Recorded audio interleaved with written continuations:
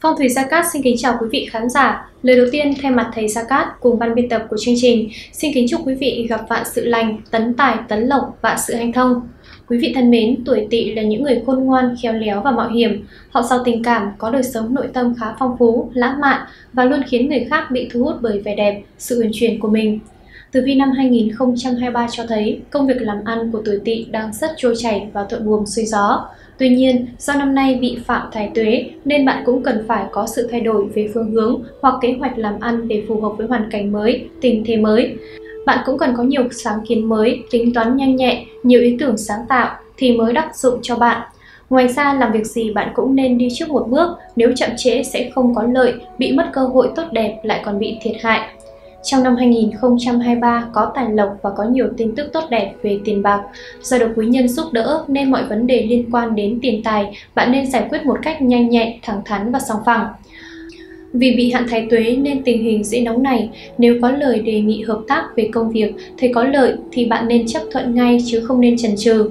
Năm 2023 Quý Mão là năm cực kỳ tốt đẹp với những người tuổi Tỵ, nên bạn cần phải nắm được điều đó để giúp cho mình có được những thành công rực rỡ về tiền bạc, cũng như có được nhiều cơ hội thăng tiến và làm ăn trong năm nay. Sự thành công của người tuổi Tỵ trong năm 2023 sẽ vang dội như thế nào? Mời quý vị cùng theo dõi video ngay sau đây.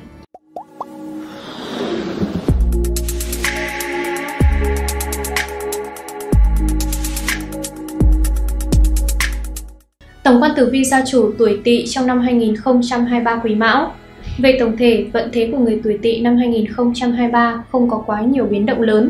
Bản mệnh có thể gặp được cơ hội nhưng khó nắm bắt, phải tốn nhiều công sức, vượt qua nhiều trở ngại thì mới có thể đạt được thành công như mong muốn.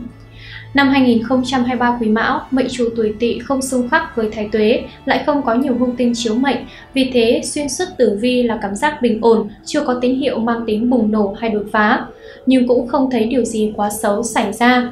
Công việc làm ăn không quá nhiều biến động lớn, cũng sẽ gặp khó khăn khi bắt đầu khởi sự, làm gì cũng một mình gánh vác, ít được anh em, bạn bè giúp đỡ. Việc kinh doanh buôn bán bất lợi có thể gặp thất bát, đổ vỡ, liên đới tới gia đạo, sức khỏe. Nếu gia chủ thật sự muốn mở rộng công việc làm ăn thì cần tính toán cẩn thận, lập kế hoạch rõ ràng mới tránh được việc mất tiền, thất thu. Trong chuyện tình cảm, nam mệnh gặp nhiều cơ hội hơn nữ mệnh. Tuy nhiên, nếu có tình cảm với ai thì bản mệnh nên là người chủ động, không nên phụ thuộc vào bất cứ ai hoặc bất cứ hoàn cảnh nào. Nếu không thì sẽ để cơ hội tốt đẹp trôi qua một cách vô ích. Trong năm 2023 Quý Mão, các gia chủ cần cẩn trọng chú ý tháng Quý Hợi, tháng 10 âm lịch, từ ngày 13 tháng 11 đến ngày 12 tháng 12.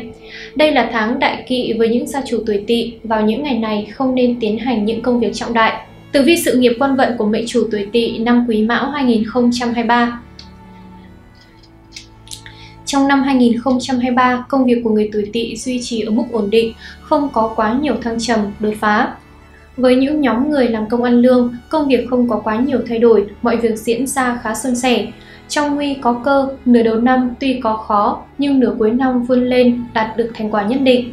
Tuy nhiên nếu như mệnh chủ tuổi tỵ mong muốn thăng chức trên đường quan lộ trong năm nay sẽ cảm thấy hụt hẫng. Dù xuất hiện khá nhiều cơ hội thăng chức nhưng tất cả mới chỉ dừng lại ở các chức vụ phụ cấp, trợ lý, hỗ trợ mà thôi. Để phấn đấu làm cao vẫn cần một thời gian dài cố gắng nữa. Chỉ cần bạn không nản lòng chờ đợi, thời cơ sẽ đến.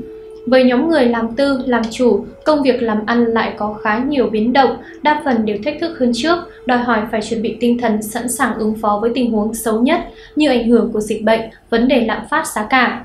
Theo đó nhóm này không nên mở rộng quy mô, làm ăn lớn hay đầu tư mạo hiểm trong năm bởi dễ chủ về gặp khó, tiêu tán tiền bạc do bỏ dở giữa trường hoặc có kẻ phá hoại.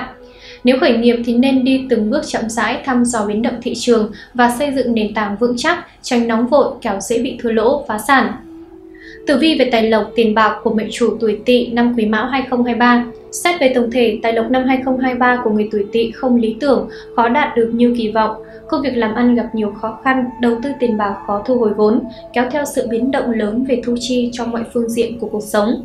Thậm chí có thời điểm phải vay mượn để làm ăn hoặc lo cho gia đình. Con giáp này cũng cần phải chú ý. Trong năm 2023, thái tuế không có ảnh hưởng lớn tới bản mệnh, song vận may của tuổi tỵ chỉ ở mức trung bình. Trong cuộc sống hay là trong sự nghiệp cũng cần phải chủ động, tự lực cánh sinh, không phụ thuộc vào bất cứ ai mới có thể mong có được thành công. Đa phần tuổi tỵ không quá coi trọng vật chất, không quá tham vọng về tiền bạc. Trong năm vận khí bình ổn như 2023, gia chủ lại càng dễ thiếu động lực phấn đấu làm giàu, hoặc giả nếu có, ban đầu là cũng rất hứng khởi, nhưng thiếu mục tiêu và kế hoạch rõ ràng, sau cùng dễ bỏ dở giữa chừng. Tuy nhiên, cần hết sức lưu ý, trong năm có ít cắt vận về tiền bạc nên hạn chế tư duy đầu cơ ngắn hạn, lướt sóng, rất dễ thất thu. Nếu có thể thì nên suy tính lâu dài, tìm người hỗ trợ khi cần thiết, tránh nóng vội, kẻo tiền mất tật mang.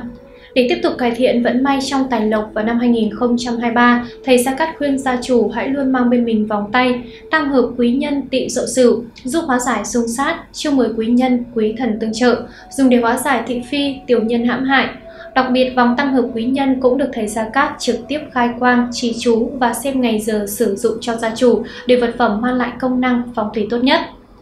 Tử vi về sức khỏe của mệnh chủ tuổi Tỵ năm Quý Mão 2023. Vì thái tuế không gây những ảnh hưởng trực tiếp lên bản mệnh nên tình trạng sức khỏe của người tuổi này khá bình ổn. Khi đau yếu dễ gặp thầy gặp thuốc mà nhanh khỏi hoặc là dù đậu chạm sao kéo cũng nhanh lành, bình an vô sự. Có điều sức khỏe của tuổi tỵ giảm sút đôi phần so với năm trước bởi tác động khó lường của các hung tinh. Vấn đề tâm lý lại tác động mạnh, gia chủ có xu hướng nghĩ quá nhiều dễ dẫn tới tình trạng đau nửa đầu. Rất cần được nghỉ ngơi, vui chơi để thúc đẩy cảm xúc tích cực. Con giáp này không nên quá tập trung vào sự nghiệp mà quên đi mất việc nghỉ ngơi. Khi có thời gian rảnh rỗi hoặc khi phải chịu áp lực căng thẳng thì nên chú ý nghỉ ngơi đến những nơi trong lành để thay đổi tâm trạng hoặc trò chuyện tham gia các hoạt động tập thể với mọi người. Đặc biệt lưu ý các tháng cuối năm 2023 đi lại cẩn thận, kẻo gặp họa huyết quang do tai nạn xe cộ hoặc gặp bất chắc về gia chủ nước. Tử vi về tình cảm của người mệnh chủ tuổi Tỵ năm Quý Mão 2023 Chuyện tình cảm người tuổi tỵ không được tốt trong năm nay, gặp nhiều phiền muộn do cả yếu tố bên trong lẫn bên ngoài.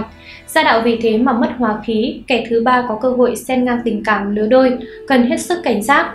Với những người độc thân thì năm nay không phải thời điểm tốt, gia chủ vẫn bám chấp những suy nghĩ không mấy tích cực, ghét thay đổi nhịp sống hiện đại, không thích bị làm phiền hoặc lo lắng, sợ hãi khi nghĩ tới trách nhiệm, sự ràng buộc. Bởi vậy mà tình duyên vẫn khá lận đận, Người nữ tuổi tỵ sẽ có nhiều cơ hội gặp gỡ với người khác phái. Tuy nhiên, đừng chỉ bị động ngồi yên một chỗ chờ tình yêu tới. Bạn cần phải chủ động nắm lấy hạnh phúc của riêng mình, có thể dựa vào các mối quan hệ của có thể dựa vào các mối quan hệ của trường bối trong nhà để tạo thêm cơ hội tình yêu cho mình. Người nam tuổi tỵ mệnh chủ còn khá bị động, lại không có nhiều cơ hội gặp gỡ làm quen với nữ giới nên tình duyên đã ít lại càng thêm ảm đạm. Con giáp này nên tìm cách để tự mình có cơ may gặp gỡ, như vậy khả năng thành công sẽ cao hơn so với việc nhờ người khác giúp. Riêng các cặp đôi có ý định tiến tới hôn nhân trong năm nay thì cần tiến hành càng sớm càng tốt, tránh để lâu tình cảm dạn nứt do những xung đột vụn vặt hàng ngày.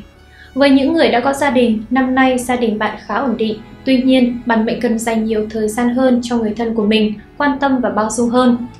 Vận hạn chi tiết của từng tuổi tỵ trong năm Quý Mão 2023 Tuổi Tân Tỵ sinh năm 2001 Năm 2023 đánh dấu khá nhiều sự thay đổi đối với người tuổi Tân Tỵ, có thể về công việc cũng có thể về chuyện tình cảm. Dù là gì đi nữa, với tinh thần sẵn sàng đón nhận thử thách, gia chủ sẽ có những trải nghiệm đáng nhớ. Nên nhớ làm gì cũng cần nỗ lực và kiên trì tới cùng thì mới đạt được kết quả tốt, tránh tâm lý ngựa non háo đá, cản trở con đường thăng tiến của chính mình. Năm nay có nhiều ý tưởng sáng tạo mới lạ, có cơ hội thể hiện bản thân trong công việc, nhận được sự công nhận và ủng hộ của mọi người, nhưng cũng đừng quá kiêu ngạo, tránh gây ra rắc rối, khiến vận may đi quá mất, khẩu thiệt thị phi. Để tránh những phiền não trong tình cảm, bản mệnh cần có thái độ nghiêm túc khi yêu đương, không nên đứng núi này trông núi nọ hoặc giữ quan hệ tình cảm với nhiều người trong một lúc. Tuổi kỷ tỵ sinh năm 1989 Những người làm nghề kinh doanh đầu tư cũng gặp phải nhiều trở ngại, Chú ý tránh những hoạt động đầu tư mạo hiểm, không nên tùy tiện mở rộng thị trường. Trước khi đưa ra bất cứ quyết định gì, cần phải suy nghĩ kỹ càng, tốt nhất nên duy trì những mối quan hệ lâu năm, đáng tin tưởng, tìm cách nâng cao hiệu quả làm việc. Trên phương diện tình cảm, bản mệnh cũng gặp phải những chuyện không như ý muốn. Người độc thân khó tìm được một người như ý, khó thành đôi thành cặp với người trong lòng. Đây không phải là thời điểm thích hợp để tính tới chuyện kết hôn. Với những người đã lập gia đình, tình cảm vợ chồng gặp nhiều trắc trở, mâu thuẫn, tranh chấp thường xuyên xảy ra. Nếu không biết thông cảm và thấu hiểu cho nhau thì rất dễ dẫn đến kết cục tan vỡ. Tuổi đinh tỵ sinh năm 1977 Bản mệnh có thể tìm được nhiều thời điểm để thể hiện năng lực của bản thân mình, nhận được sự đánh giá cao của cấp trên, từ đó có nhiều cơ hội thăng chức, tăng lương, đạt được bước phát triển lớn trong sự nghiệp. Tuy nhiên, con giáp này không nên vì thế mà trở nên kiêu ngạo, coi thường người khác, cần giữ thái độ khiêm tốn, có cách ứng xử khéo léo với tất cả mọi người. Kinh kỵ nhất là việc nảy sinh mâu thuẫn với người khác. Trong năm, đề phòng đau ốm bất ngờ hoặc họa huyết quang, tháng 5 và tháng 6 âm lịch cần cẩn thận hạn sông nước, trong nhà có thể có tăng sự, gặp khá nhiều chuyện phiền muộn. Tuổi Ất Tỵ sinh năm 1965, Năm 2023, gia chủ đã bước vào độ tuổi nghỉ hưu, cần chuẩn bị tâm lý sẵn sàng đón nhận sự thay đổi khá lớn về các thói quen sinh hoạt này, nên trò chuyện với bạn bè, con cháu nhiều hơn để giải tỏa những cảm xúc tiêu cực. Với những ai vẫn đang làm việc, công việc làm ăn bình hòa, không thêm không bớt, tinh thần ổn định, có xu hướng dần lui về chăm lo cuộc sống gia đình con cháu hơn. Cần lưu ý vấn đề sức khỏe, đi xa cần đề phòng đau ốm, bệnh tật hoặc xảy ra những sự cố bất ngờ, tốt nhất nên đi cùng người nhà để kịp thời ứng biến khi cần. Về khía cạnh tình cảm, vợ chồng cần thường xuyên trò chuyện, trao đổi, tâm sự với nhau, có thể tổ chức dịp kỷ niệm để hâm nóng tình cảm cho đôi bên. Khi có mâu thuẫn xảy ra thì không nên to tiếng mà cần phải giữ thái độ bình tĩnh để trao đổi với nhau. Tuổi Quý Tỵ sinh năm 1953, Năm 2023 mang lại khá nhiều niềm vui cho người sinh năm Quý Tỵ trên nhiều phương diện. Có điều người sinh năm này cần chú ý đến phương diện sức khỏe của mình hơn. Đồ ăn nên chọn các loại thực phẩm sạch, Cách chế biến thanh đạm ít dầu mỡ nên ăn nhiều bữa trong ngày nhưng mỗi bữa không nên ăn quá nhiều. Cần có chế độ nghỉ ngơi hợp lý, không nên làm việc quá sức, phương pháp rèn luyện phù hợp với tình trạng sức khỏe của bản thân. Bản mệnh tuổi đã cao cần có sự quan tâm bầu bạn của con cái, tuy nhiên không nên quản lý hay yêu cầu con cái quá chặt chẽ. Hãy suy nghĩ thoáng hơn, khi có việc gì thì không nên giấu trong lòng mà nên chú ý tâm sự, chia sẻ với người nhà nhiều hơn. Các gia chủ tuổi tỵ trong năm nay sẽ cần phải sử dụng vòng cổ, bát bảo tâm kinh để bổ trợ thân mệnh cho mình. Đây là pháp khí phong thủy của nhà Phật, mang lại sức khỏe, giúp chiêu vận quý nhân, kích tài, nạp phúc, tăng cường hòa hợp thiên địa nhân hợp nhất. Vật phẩm phong thủy bát bảo tâm kinh đã được thầy Gia Cát trực tiếp khai quang, trì chú và xem ngày sử dụng để mang lại tác dụng phong thủy tốt nhất cho gia chủ. Quý vị thân mến, vừa rồi chúng ta đã cùng tìm hiểu về lá số tử vi của tuổi Tỵ trong năm 2023 Quý Mão. Qua đó quý vị cũng đã phần nào nắm được vận hạn của mình và biết được mình cần phải làm gì để có được may mắn và thành công trong năm 2023. Rất cảm ơn quý vị đã quan tâm theo dõi. Quý vị đừng quên nhấn nút đăng ký kênh và biểu tượng chuông thông báo để luôn là người đầu tiên nhận được những video mới nhất của chương trình. Còn bây giờ, xin chào và hẹn gặp lại quý vị trong những video tiếp theo.